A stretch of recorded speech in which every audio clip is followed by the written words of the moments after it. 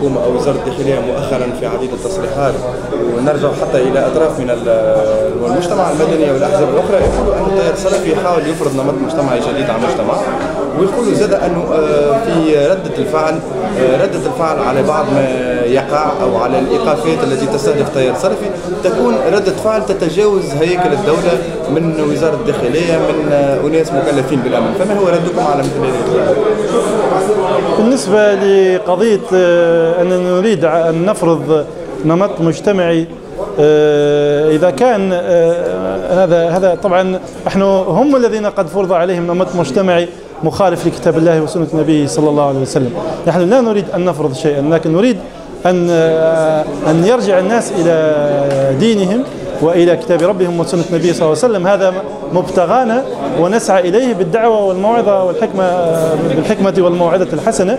والحمد لله ما رأى أحد منا أن حملنا إنسان على آه، فعل على على صلاة أو على حجاب أو على نقاب إنما هي قناعات آه، يدخل فيها الشباب. بفضل الله سبحانه وتعالى وهم يتزايدون كل يوم.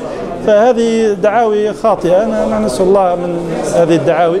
آه، ومن من قال غير ذلك فعليه إن يعطينا أمثلة منها.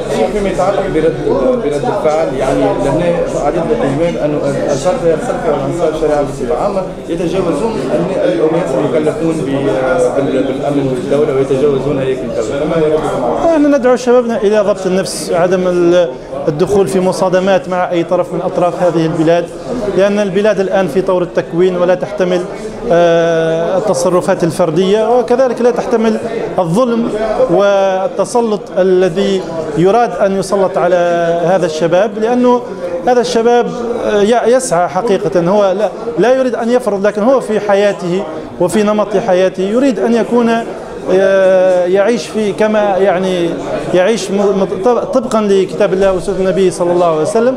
هذا ليست هذه ليس مما يعاب عليه هذا الشباب بل ما مما يشكر عليه ويثنى عليه.